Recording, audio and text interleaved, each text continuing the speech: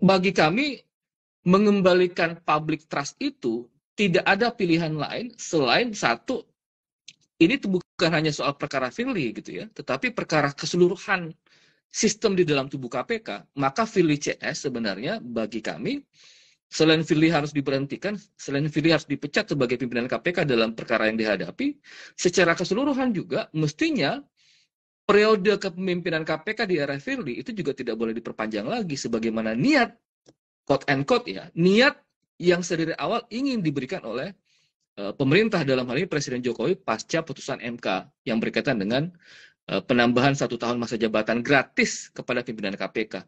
Nah kalau basis sistemnya sudah rusak, ya ngapain ada perpanjangan kan?